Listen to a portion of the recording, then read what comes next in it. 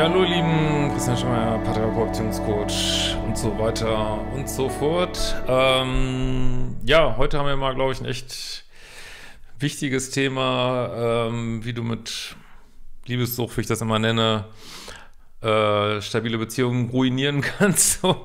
Äh, und glaube ich echt ein wichtiges Thema, weil wir sind da einfach, gerade wenn man eine schwierige Kindheit hat, dass man einfach so anfällig für diese Sachen. Äh, das kann man sich echt gar nicht vorstellen. Und genau. München, Praxissach ist, mehr, äh, ist noch ein Platz frei, Hamburg noch mehrere. Wenn ihr mal live zum Seminar mit mir kommen wollt, einen Tag, äh, gibt es auf liebeschiff.de, wie auch den ganzen Kurs. Wenn ich auch aus ja, solchen schwierigen Mustern rausarbeiten willst, schau dir mal mein Kurssystem an und äh, kannst du einfach anfangen. Modul 0, 1, 2 kann man einfach so durcharbeiten und guck nicht immer nur die Videos. Und jetzt gehen wir mal in die Mail. Du kannst auch solche Fragen stellen über ein Formular auf leadership.de. Ja, mein Name ist äh, Androvitsch Golar. Ich bin kurz, vor kurzem auf dich gestoßen. Deine Arbeit spricht mich sehr an. Ich würde mich freuen, wenn du auf meine Mail eingehen würdest. Meine Geschichte beginnt vor circa zehn Jahren. Damals war ich Mitte 20. Äh, äh, ich habe ja XY äh, oder jetzt gehen wir mal für einen Namen. Ich habe Hugo damals getroffen. Auch in den 20ern, den ich schon seit der Schulzeit kenne. Fand ich immer sehr attraktiv, hatte aber kein besonders großes Interesse, da ihm ein gewisser Ruf vorauseilte. Ja. Nicht, dass du etwa auf Bad Guy stehst hier. Hm? Wir haben dann gefeiert, äh, uns geküsst und sind zu ihm nach Hause. Es war der beste Kuss meines Lebens. Einfach nur wow. Äh, so, jetzt geht's eigentlich schon los. Er wollte keinen Hallenhalmer, da er es laut eigener Angabe mal anders angehen möchte, er sich mit mir was Ernstes vorstellen könnte und es nicht gleich wieder mit Bettsport versauen wollte, so seine Worte. So, also ich würde euch raten, ich weiß, das sehen wieder ganz viele anders, aber ich würde euch raten, ey, wenn euch ein Mann aufreißt, pickupt, mit nach Hause nimmt und dann will er nicht mit euch schlafen, würde ich solltet ihr schon denken, was zum Fick stimmt hier nicht irgendwie, ne? Also, weil, ich meine, das machen wir ja normalerweise nicht. Also wirklich, das ähm, macht einfach keinen Sinn. Das hatte ich schon zu Hause und ist einfach immer so, immer wenn diese normale Progression, die darf ja auch viel langsamer sein, ne? Ist jetzt nicht, aber wenn die normale Progression äh, im, im Dating-Kontext irgendwie, wenn die gestoppt wird, sollte man immer überlegen, warum. Ne? Das heißt, es ist nicht immer, dass das jetzt immer ganz schlimm ist oder so, aber ähm, ist aus Sicht von 99 Prozent der Männern, äh, oder vielleicht nicht ganz 99, aber macht es keinen Sinn. Es macht einfach keinen Sinn. Ne? Und äh, dann, ja gut, gucken wir uns mal die Story an, die er dann erzählt hat. Ähm, Ach so, ja, hat er schon, er äh, will sich nicht versauen. Ja, wie gesagt, ich will ihm das jetzt nicht absprechen, dass er das auch so gedacht hat in dem Moment, aber immer, wenn, also immer, wenn Dating unlogisch ist, unlogisch ist, keinen Sinn macht, man irgendwie Kopffick kriegt und denkt, scheiße, was, was geht hier ab? Ist irgendwas, häufig irgendwas faul, nicht immer, aber man sollte dann schon mal die Handbremse anziehen, so, ne?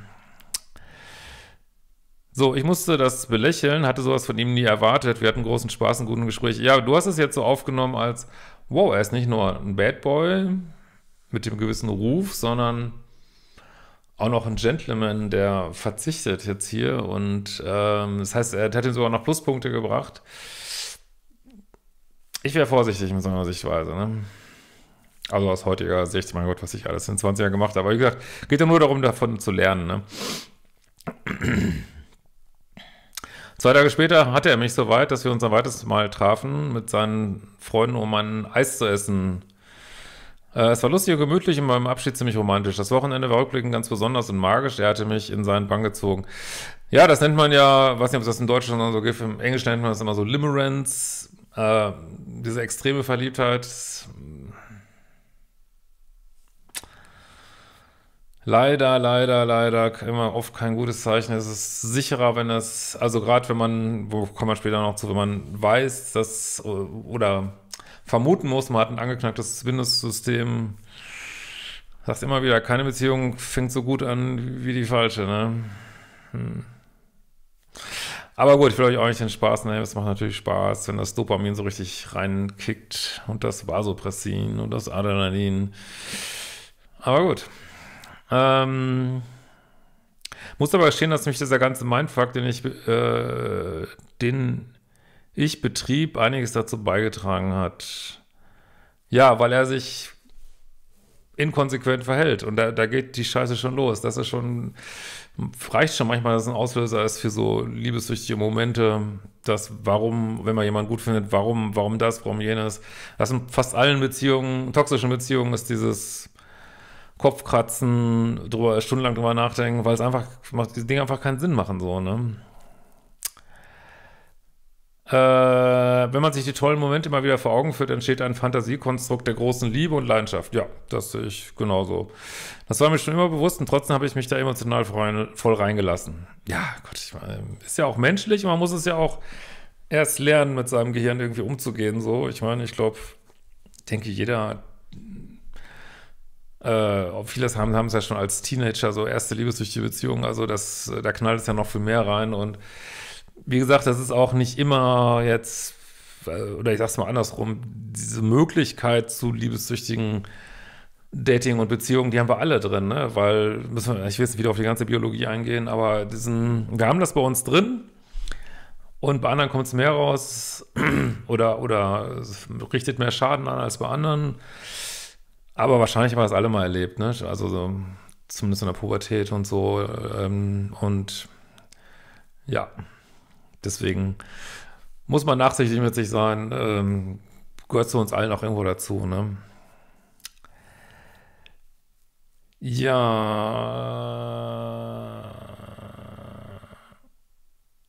Wir wohnten damals zwei Autostunden voneinander entfernt. Durch seinen Beruf war er viel im Ausland. Ja, jetzt geht schon wieder los. Ne? Eigentlich wie schon das erste Date, wie eigentlich fast immer, setzt schon das die Storyline jetzt fort, ähm, nicht verfügbar, ne? Weiß man jetzt schon, wenn man das hier liest, so, ne? Oder kann man sich zumindest, sollte man sich zumindest auf seinen Zettel schreiben, sein Tagebuch, uh, könnte nicht verfügbar sein. Äh, hab dann nichts mehr von ihm gehört, obwohl wir uns nach dem nächsten ähm, Großsportereignis, er arbeitet bei Großsportereignissen, internationalen, in drei Wochen wieder sehen wollen. So, das heißt, er hat hohen Status. Wenn mir jemand hohen Status geben, also für dich hohen Status, ja, wird es immer noch wahrscheinlicher, dass man sich so äh, Limerence-mäßig verstrickt, ne? wenn man denkt, boah, das ist jetzt Mega-Match und Wahnsinn, den will ich haben. Aber gesagt, alles menschlich, ne? Kennen wir alle. Nach einer Woche schrieb ich ihm, ob er denn kein Interesse mehr hätte. So, jetzt bist du schon, obwohl der Mann die Dates machen soll, ne?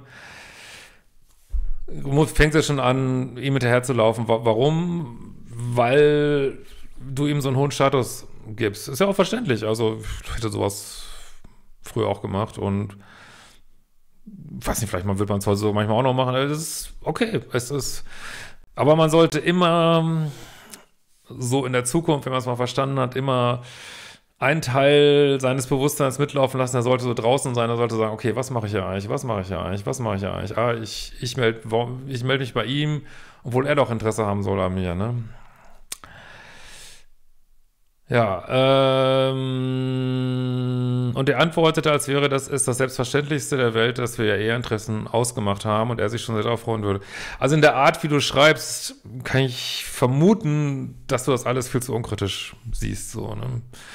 weil du findest es ja irgendwie immer noch gut und polar und was ich auch verstehen kann, aber äh, Polarität ist halt nicht alles, ne? Letztlich, ähm, ja, ist schon die zweite Sache jetzt nach dem ähm, verweigerten Bettsport, ist, was irgendwie komisch ist, so, ne? Wenn man sich jetzt einen gelungenen Dating-Prozess vorstellt, so, ne?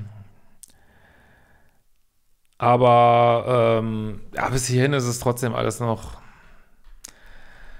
ja, alles natürlich keine harten, richtig harten, obwohl das mit dem, mit der eurer ersten Arm finde ich schon krass, aber so richtig harte Fakten, vor allem Mitte 20, sind das bestimmt noch keine harten Fakten. Ne? So, wir schrieben ein paar Mal hin und her und das war's dann. Er kam zum vereinbarten Treffen und es war die pure Landschaft. Ich muss natürlich auch sagen, ihr hattet ja schon mal was ausgemacht Und dass er sich, muss er sich auch nicht zwingend dauernd melden. Also bis hierhin, ja. Okay, okay. Äh, nach einer Nacht setzte er mich quasi vor die Tür, da er plötzlich arbeiten musste. Ja, gut, ich setze sich das allerdings fort. Das ist komisch. äh, ich war aufgelöst. Drei Wochen später kam ein Wochenende zu mir, allerdings nur einen Tag. Wieder alles ganz toll, leidenschaftlich, magisch danach wie vom Erdboden verschluckt. Ja, also jetzt, spätestens jetzt beginnt halt dieses heiß-kalt-Ding, ähm, was halt liebessüchtig macht. Das ist einfach so, ne? Kann man jetzt gut finden, kann man nicht gut finden. Vor allen Dingen, wenn man eine Neigung dazu hat, die du vielleicht hast, ne? Äh, na, also vom Erdboden verschluckt heißt ja auch, meldet sich nicht, ne? Vier Tage darauf in der Nacht ein scheinbar betrunkener SMS, dass er nicht wisse, was er mit seinem Gefühl machen soll. Er sei so geflasht von mir und dass der Wettsport der beste seines Lebens gewesen wäre. Hm. Okay, Notiz von mir war jetzt nicht schlecht, aber ich hatte schon besseren. Mich verzauberte er das Drumherum, die Leidenschaft, die Küsse, die Berührung. Die Gespräche, der Wettsport waren das Einzige, das ich jetzt nicht so als besonders wahrgenommen hatte. Darum ging es mir nicht. Ja, also wie du schreibst, kann man auf jeden Fall sehen, dass du voll drin warst jetzt hier. Und auch wenn du es jetzt von heute schreibst, dass du es auch nicht so ganz kritisch hinterfragt hast vielleicht. Was verständlich ist, wie gesagt, ne? alles gut. Ähm, und ich kann es auch verstehen, dass man da so reinrasselt, aber letzten Endes, ja, ist ja halt insta also instabiles Dating, heiß-kalt, plus eine Neigung von dir vielleicht dazu. Ähm, ich glaube, wir kommen gleich auch noch zu deiner Kindheit. Ja, schon ist die Suppe am Dampfen, ne? Die, oder besser gesagt, nicht die Suppe, äh, die K-A-C-K-A-E, K-A-C-K-E am Dampfen, ja.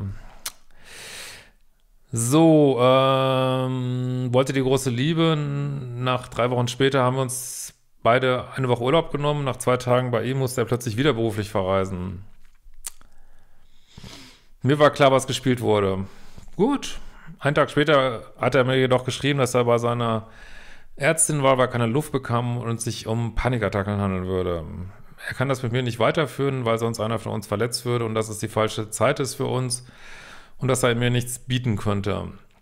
Gut, bis hierhin finde ich, ja, man muss ja Leute auch mal kennenlernen, aber jetzt weiß man hier natürlich, ähm, ja, ist vielleicht noch nicht mal so richtig Bad Guy-mäßig, aber äh, scheint ein großes Thema mit Nähe und Bindung zu haben. Und ja, jetzt denkt man vielleicht noch, habe ich zumindest auch in den 20ern, in den 30ern ich auch, äh, dass man das äh, vielleicht irgendwie retten könnte und man ihn ja nur rauslieben müsste, aber ja, ähm, jetzt kann man sich halt denken, man hat so einen Bindungsängstler eingefangen und dass einem das vielleicht nicht gut tut, so, ne? Also wie gesagt, wenn das in der Zukunft hier jetzt nochmal sowas passiert. Und er sagt es ja sogar noch, ne? Äh, das war drei Monate nach unserem ersten Date. Ja, ich kann immer wieder sagen, Leute, sucht Dating-Prozesse. Es sollte einfach nichts schiefgehen die ersten Monate. Ne? Die Probleme kommen noch früh genug. Es sollte einfach kontinuierlich sein, regelmäßig. Äh, Progression sollte stimmen. Es sollten keine Kopfschmerzen auftreten, Gedankenkopfschmerzen. Warum jetzt dies, warum das? Äh, beide verknallt, es geht voran. Sowas sollte man suchen, aber ich weiß, das ist natürlich alles schwer heutzutage. Da war mir schon klar, dass der bindungsgestört sein musste. Finde ich schon sehr bewusst ähm, in deinen 20ern, muss ich echt sagen. Was ich angesichts seiner Kindheit kein Wunder ist. Für mich stand fest, dass ich da nicht mehr mitmachen würde. Bombe. Sehr gut. Er meldete sich nach einem Monat wieder, meinte, die Gefühle sind einfach, die Gefühle sind einfach zu viel für mich. Aber gut, es ist wahrscheinlich, was er auch fühlt. Ja, er hat ja auch meine, hat ja auch jetzt insofern, also das gemacht, was ihm halt möglich war. Ich meine, er hat dich jetzt nicht verscheißert, Leute wir das wissen und ähm, aber diese Aussage macht für mich keinen Sinn. Das ist so, so diese ganzen Sprüche, wir lassen uns Leichtigkeit leben und ich weiß nicht was. Weil wenn ein Mensch richtig verliebt ist, äh, dann, dann, will er Nähe haben und dann sind die Gefühle auch nicht zu viel. Also das ist, das eigentlich gibt es sowas nicht. Also das Also das mag auf irgendeine Art äh, richtig sein, aber letzten Endes ist er nicht so verliebt, dass er dich da ständig sehen wollte, ne? Ist einfach so, ne? Ähm, er ist so verwirrt, möchte nun sein Leben genießen und mich um ihn haben. Ja, also das ist natürlich jetzt dieser ganze, das ist schon so ein typischer äh, Bindungsängstler-Sprech, aber das ist, erleben die, die ja auch so, ne? Vor, zurück, vor, zurück. Und muss man annehmen und, und sich überlegen, kann ich damit dealen? Aber wenn ich diese Geschichte bis hierhin sehe, würde ich zu dem gleichen Schluss kommen. Nee, das tut mir nicht gut, ne? Aber klar, man möchte ja immer wieder Benefit of the Doubt, ne? Jetzt hoffen, dass es dann doch irgendwie sich ausspielt, aber naja. Ähm, ich habe mich leider noch ein paar Mal mit ihm getroffen. Ich wollte eigentlich eine Erklärung haben, dass ich das damals nicht verstanden habe, was da bei uns passiert ist. Ja, das macht so viel äh, ungesunde Bindung, die sie immer wieder wissen, warum, warum, warum. Das ist ein großer Teil von Liebessucht, so, ne? Er hätte scheinbar auch nicht kapiert, habe ihm dann noch meine Gefühle gestanden, habe ich nur deswegen getan, damit ich es später nicht bereue, es nicht getan zu haben. Ja, alles gut. Mir war schon klar, dass ich ihn damit in die Flucht schlagen würde, aber es war mir zu dem Zeitpunkt egal. Völlig richtig. Daraufhin ist er, wie wäre es anders zu vermuten gewesen, wieder abgetaucht. Er wollte nach einigen Wochen wieder losen Kontakt. Habe ich aber nicht zugelassen. Alles gut. Äh, einige Monate später wollte er eine Aussprache, letztlich habe ich dem zugestimmt. Einen Tag vorher hat er dann aber abgesagt. Oh, wie schrecklich, ey. Da jetzt eine Freundin, da jetzt eine Freundin hätte und brav sein müsste, so sein Wortlaut. Gut, also auch das, ja, ich jetzt beim ersten Drüberfliegen gar nicht gesehen. Äh, es ist total in Ordnung. Es kann, es kann passieren und ist ja auch ehrlich und ja. Äh, ist ja auch interessant, dass es dass er sich, ja, okay, wahrscheinlich erlebt ihr das Gleiche. Über Social Media bekam ich dann diese neue Frau in seinem Leben präsentiert, was mich schon sehr verletzt hat.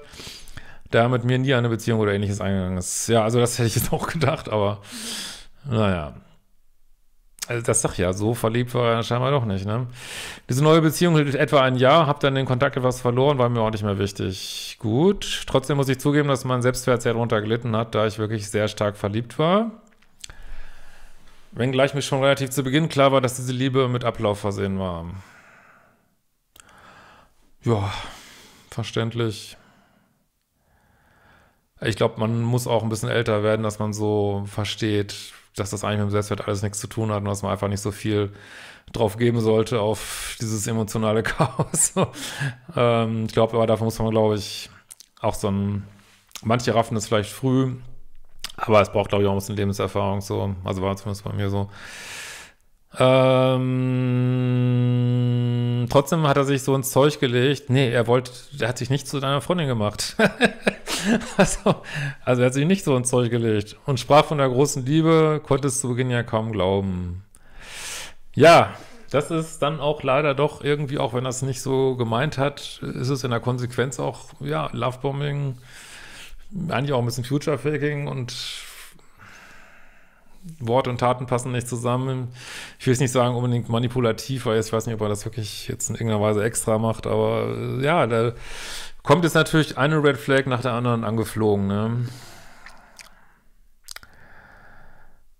Er war zwar nett, aber nicht spannend. Schrieb immer wieder gleich, na, nee, sorry, jetzt habe ich zu weit gelesen. Ähm, so, jetzt kommt der große Switch, nämlich lernte dann einen Mann kennen, der mich zu Beginn nicht wirklich interessierte. Er war zwar nett, aber nicht spannend. Er schrieb immer gleich zurück, war verlässlich, aufmerksam. Nicht mein Fall, Smiley. Ja, wie schrecklich, boah, ekelhaft. Oh Gott, ist ja widerlich, der Typ. Also, verlässlich, aufmerksam, schreibt zurück. Ist ja wirklich absurd. Also, was für ein ekelhafter Mann. Ich drehe gleich durch hier, ey. Sofort der Polizei melden, ne? Äh, verrückt, ich weiß. Wir wurden Freunde und zwischen uns entwickelte sich langsam eine Liebe, die so tief und schön ist, wie ich es nie erwartet hätte. Wunderbar. Zwar ohne Feuerwerk zu Beginn, sehr unspektakulär, aber sehr beständig. Er ist heute mein Ehemann, wir haben Kinder und sind schon seit ähm, ja, dieser Zeit glücklich miteinander. Keine Ahnung, wie mir das gelungen ist, aus meinem Muster auszubrechen. Stehe normalerweise auf den Typ Arschloch, den ich jagen muss. Äh, so, bis hierhin können wir jetzt da denken, boah, geil, musstest gar nicht groß was tun, hast trotzdem scheinbar bindungssicheren getroffen, hast das nicht weitergemacht. Ähm, ist ja auch super, also wirklich Hut ab, dass du das hingekriegt hast. Äh, hast acht gute Jahre gehabt. Ähm, was kann jetzt noch schiefgehen? Schauen wir mal. äh, das Universum ist schon manchmal echt spaßig. Ähm, so. Mir ist erst seit zwei Wochen, mir ist erst seit zwei Wochen seit ich deine Videos schaue, bewusst geworden, dass ich offensichtlich unter Verlustangst leide. Mach auch nochmal hinweisen auf den Verlustangstkurs, der bald rauskommt, gibt es noch zum Frühwocherpreis. Äh, der Hugo ist nämlich seit einem Jahr wieder in unseren Nachbarort gezogen. Ach du Scheiße, echt. Und wir laufen uns öfter über den Weg. Das macht was mit mir, jedes Mal. Ich vermute, dass es sich um Liebessucht handelt. Ja, du bist ja wirklich erstaunlich bewusst eigentlich, muss man wirklich sagen. Ist nur jetzt so schwer drauf zu handeln dann auch, ne? Ähm, weil es mir immer ziemlich reinkickt. Das Dopamin. Ja, das kennen wir doch. Ähm, ich will das endlich vergessen und los sein. Es beschäftigt mich mehr, als ich möchte. Es geht hier nicht um eine Affäre oder ähnliches. Ich möchte es gerne auflösen und bearbeiten. Ja, aber da muss ich jetzt sagen, das kannst du nicht mit ihm bearbeiten und vor allen Dingen nicht, ähm, während du ihn siehst. Ne? Das ist wie wenn man vom Alkohol loskommen will und will das mit Korn bearbeiten. Das funktioniert nicht. Ey. Das ist wirklich äh, Feuer mit Benzin bearbeiten, so, ne? So, und jetzt schauen wir doch mal, also wirklich auch eine gute Lehre, glaube ich. Ich glaube, das kann so leicht passieren, wie du da so langsam reinrutscht, ne? Dachte mir vor einem Monat, dass es vielleicht gut wäre, mich mit ihm zu treffen. Das ist meiner Ansicht nach, ich kenne dich nicht, ist das die Liebessucht, die da, die dann sagt, Mensch, triff ihn doch mal, Pff, kann doch nichts passieren, wollen doch nur reden. Aber das ist dann, da muss man wirklich so bewusst sein, dass man so merkt, boah, nee, das ist, sorry, das ist wieder Dopaminhausen hier und oh, nee. Äh, so, weil jetzt brichst du quasi, weil du hast dir das nie so auferlegt, aber jetzt brichst du den Nullkontakt. Und ähm, ja, und äh, gerätst wieder in den Bann dieser Geschichte so, ne? Und dann sagt, ja, kann man doch mal treffen. Kann doch mal, ja, jetzt habe ich acht Jahre kein Alkohol getrunken, kann doch mal wieder ein Schlückschen nehmen. hm. Wiederum verständlich, aber sehr gefährlich, ne? Und ich sage auch, ich sage ja ungern wieder, keine Dreiecke, immer ist ja jetzt noch nicht viel passiert, aber naja. Jetzt kann er dir natürlich wieder diesen ganzen Müll erzählen, das ist halt das Problem, ne?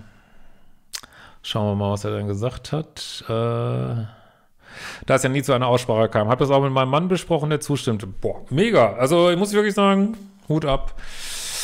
Ähm, aber hätte, ich glaube, es wäre besser gewesen, hätte nicht zugestimmt, aber naja. Er kannte ja meine Geschichte, hab mich, hab dann am Vormittag äh, zum Kaffee getroffen, war sehr nett. Er ist erstaunlich reflektiert, weiß, dass er ein Bindungsthema hat, hat auch Therapie begonnen und wieder abgebrochen, da er diese Gefühle nicht aushalten kann. Also die in der Therapie auch nicht, oder was? Okay. Äh, er möchte Familie, nur leider kann er keine Nähe zulassen. Ja, dann war es vielleicht nicht die beste Idee, Therapie abzubrechen, aber gut, wir wissen ja nicht warum.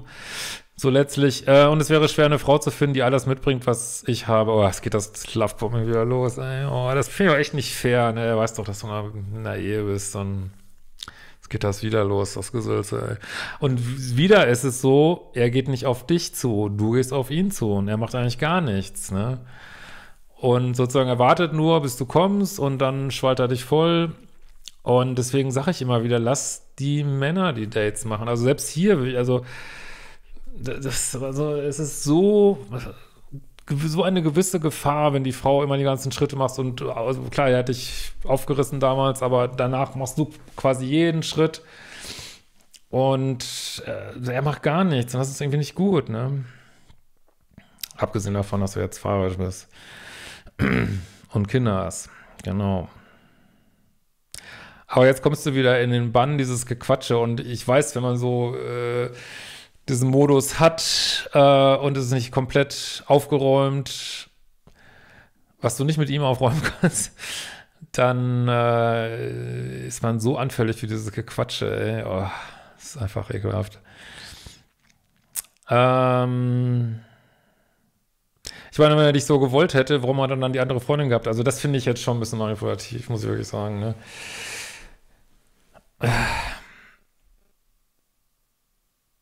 Er wollte nur mich, ja, warum hat er dann die andere gepimpert, mal ehrlich? Ja, sorry, ich muss zwar ja vulgär werden, aber das riecht mich einfach mal auf, ey. Ich weiß jetzt, dass er das jeder erzählt, aber ich will es nicht wahrhaben. Ja, das ist genau das, denke ich, von ihm, was er das jeder erzählt, genau. Okay, das finde ich jetzt schon sehr manipulativ. Ja, ich will glauben, dass er wirklich nur mich wollte. Er meinte, ihm ging es genauso, ich lasse ihn nicht los, er denkt oft an mich, wie es gewesen wäre. Ja, warum, hat, warum wollte er dann nicht einen Kaffee mit dir trinken? Das macht einfach alles keinen fucking Sinn. Das ist komplettes fucking Lovebombing. Das ist nicht gut. Wie es gewesen wäre, wir wären zusammengeblieben. Ja, aber er, es geht ja nicht. Er kann ja keine Nähe zulassen. Er bereut es, aber er meinte stets, dass er mich nie glücklich gemacht hätte. Er, hat es ja so bereut, dass er nicht mit dir zusammengekommen ist, sondern mit der anderen. ja, und dich jetzt auch nicht angesprochen hat. Äh, so, also es kommt ja wieder nichts von ihm. So sehr bereut er das. Äh, dass er mich nie glücklich gemacht hätte, das stimmt allerdings. Da er die Be Beziehung sabotiert hätte, wie er es immer machen würde. Ja, also eine gewisse Bewusstheit ist bei ihm ja auch, muss man ja wirklich sagen. Nur warum quatscht er dich da jetzt wieder so zu? Ne? Das ist echt nicht fair, ne? Äh, er wäre schon immer ein Arschloch, ja, auch wieder sehr ehrlich. Und da muss man als Frau wirklich aufpassen, dass man nicht das Polar findet, sondern dass man einfach sagt, ja, okay, danke, dass du es mir gesagt hast und tschüss. Und nicht denken, boah, das ist aber cool. Das ist aber cool, dass er das so sagt, so, boah, voll cool, ich bin ein Arschloch. Ähm, aus reinem Selbstschutz, ja, das habe ich ja gestern mal wieder schon gesagt, die Menschen haben immer ist auch absolut menschlich. Immer Begründung für sich, warum sie auch manchmal asoziales, ob das jetzt schon asozial ist, weiß ich nicht, aber haben immer ihre Begründung, ne, warum sie ihr komisches Verhalten machen. Er braucht seine Freiheit, folgt seinen Gefühlen, er lebt nur einmal. Ja, darf er, alles okay, aber ich es passt eigentlich zu seinem Video gestern. Es ist nicht empathisch, dass er dich jetzt wieder so reinreißt, obwohl du in einer Beziehung bist. Dann soll er das doch, äh, und weiß nicht, dann soll man einfach nicht jeder Frau sagen, sie ist die eine, soll man jeder Frau sagen, hey, du, äh, hallo, du bist die 571. Und nach dir wird Nummer 572 kommen, in kurzem Abstand. Just saying. ne? Also muss er den Frauen, die er datet, vielleicht, das wäre fair, denen auch klar zu machen, hey, das ist jetzt, wird jetzt für kurzfristig sein, ne? Was mich erstaunt hat, ist, dass sich an viele Details aus einer kurzen Zeit erinnern konnte. Ach, come on. Nachdem ich gegangen war, war ich tief traurig, fühlte eine lebende Trauer. Ja, du spielst echt mit dem Feuer hier. Also, ist nicht gut, glaube ich. Wie Heimweh nur schlimmer. Ja, das ist diese ganze Liebeschip-Scheiße, ne? Konnte es nicht deuten. Als ein paar Ta Tage später äh, mein Vater, der ein ganzes Leben lang schwer alkoholabhängig war, nach fünf Jahren Abstinenz wieder zu trinken begann, stürzte ich ab und er fühlte erneut diesen Schmerz. Und deiner Mutter, äh, ah, ging es auch nicht gut, das kann ich aber nicht alles, oh Gott, das hört sich alles gar nicht gut an. Hm. Da wurde mir klar, dass es ein und derselbe Schmerz war. Ja, äh, es ist jetzt wieder krass vom Universum. ähm, gut, hat, ja, Universum lassen wir jetzt mal raus, aber äh, es ist eigentlich passiert deinem Vater das Gleiche, was dir gerade passiert? Kann das sein? Krass. Wobei dein Vater, äh, wie gesagt, will das jetzt nicht alles vorlesen, hier ein krasses Live-Event hatte. Es kann dann auch passieren, dass man dann wieder anfängt zu trinken. Das ist eben so, ne? Ist auch echt schlimme Geschichte. Es ging um Wahrheit nicht um Hugo, sondern um das Vaterthema, immer das Gefühl, nicht gut genug zu sein. Äh, ja, also alkoholkranke Elternteile sind Eintrittskarte, dass man auf meinem Kanal landet. Äh, ja. Diese Erkenntnis ist der Wahnsinn, äh, weil ich also auch im Hugos Fall nicht gut genug war. Äh, die Frage ist jetzt, was mache ich damit? Ich würde es ganz so gerne loslassen. Da darfst du ihn nicht treffen. Ne? Rückkontakt ist schwierig, da ich ihn oft sehe, ja, sorry, das, dann wohnt ihr halt im gleichen Dorf, ja, mein Gott, natürlich ist da ein Nullkontakt möglich. Dann sagst du guten, guten Tag und sagst ihm einmal durch, ich möchte, ähm, ich bin verheiratet, ich möchte das hier, möchte mich nicht mit dir treffen, tut mir auch nicht gut obendrein und möchte gerne, dass du das respektierst. Wird er, glaube ich, auch und, äh, und das war's. Und dann ist es durchaus ein Neukontakt, ne?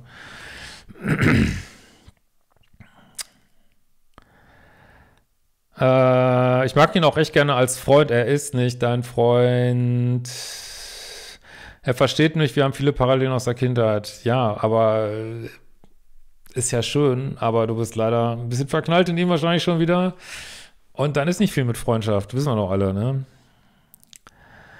Außerdem finde ich das auch nicht freundschaftlich, dass er so mit dir kommuniziert. Ist schon ein bisschen subtil, aber ich finde es nicht, nicht so toll, muss ich echt sagen. Ne?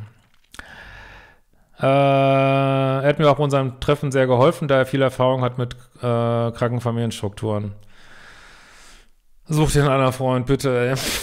es gibt auch andere Menschen, die äh, dir weiterhelfen können oder mach mal sowieso, das ist ja doch viel, was da ankommt. Also vielleicht machst du auch mal selber Beratung, Therapie oder so, falls dir das gut tut oder für dich stimmig ist äh, oder in Frage kommt, kann ich jetzt nicht sagen, aber dat, ähm, oder brauchst, suchst mal jemanden zum Reden, weil da kommt ja schon viel zusammen hier, was auch vielleicht bei dir aufge aufgearbeitet werden möchte, so. Und ähm, Boah, schon krass alles, ey. Und ich möchte auch echt nicht, dass du da in diesen, so einen, diesen Sumpf, diesen Sumpf reinrutscht mit einer echt gut funktionierenden Ehe, ey. Mach das nicht, echt. Also es gibt nichts, was einen schneller komplett auf den Boden bringt, als liebessüchtige Beziehungen. Und äh, wie gesagt, ich weiß, das ist jetzt nicht so offiziell. Es gibt Liebessucht, das ist keine offizielle Diagnose, ist ja auch gut, muss es auch nicht, ist okay. Ähm, aber sieh mal die Parallelen zu deinem Vater, so, ne?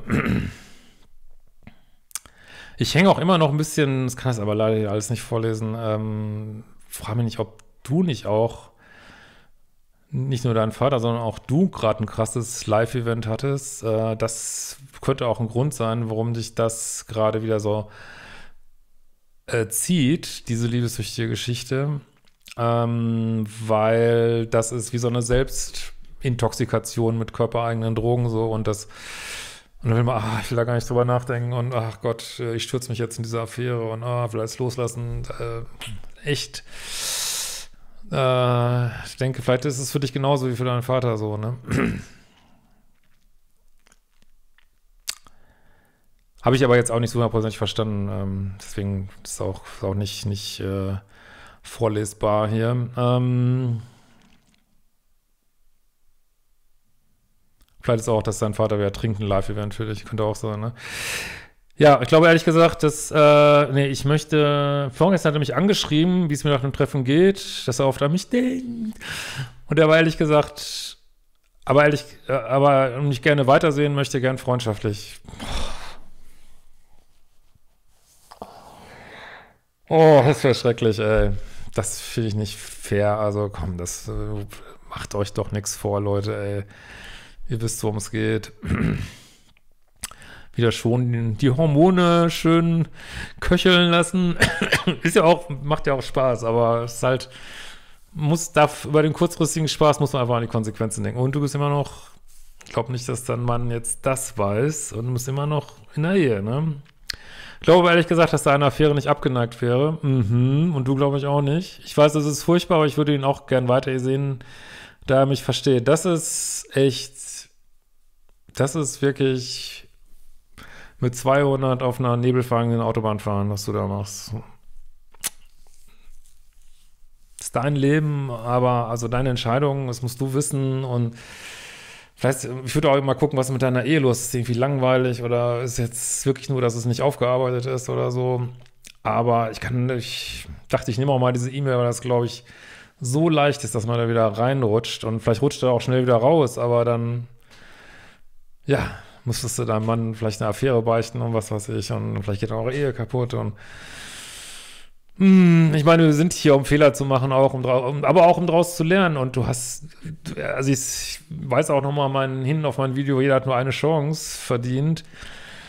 Er hat seine Chance gehabt und er hat sie nicht genutzt. Also ich kann nur sagen, lass es, lass es los und Weinrate ist, trifft dich keine fucking Sekunde mehr mit ihm, ne? Und keine Kontakt, keine SMS, nix.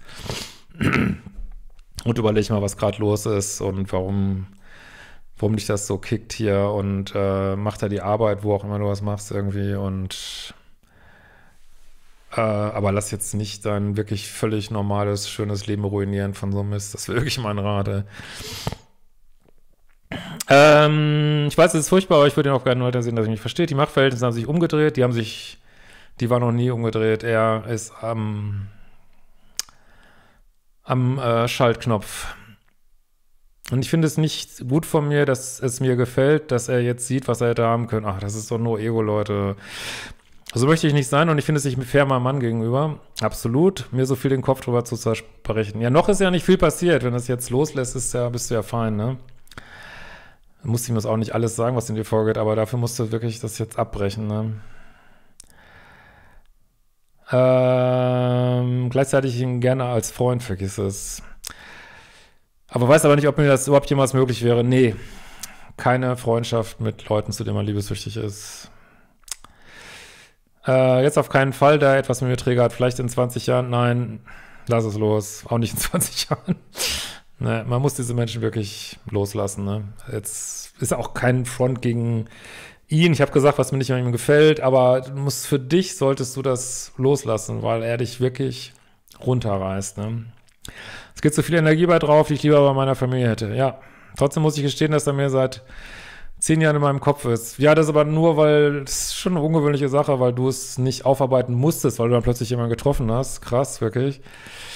Äh, aber meine, wie gesagt, kannst ja auch mal meine Kurse gucken. Also Arbeit ist für dich auf, aber ähm, nicht mit ihm.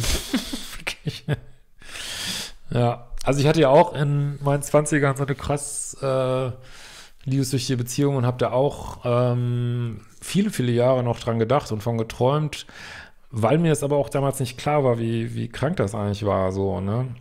Habe ich auch in meinem Buch drüber geschrieben, in meinem dritten Buch. Ähm, und äh, raus aus toxischen Beziehungen. Und ähm, erst nachdem ich das nach weiteren Erfahrungen verstanden hatte, wie ich da eigentlich so ticke, äh, ist auch diese erste Beziehung bei mir vom Podest runtergeflogen, so, ne?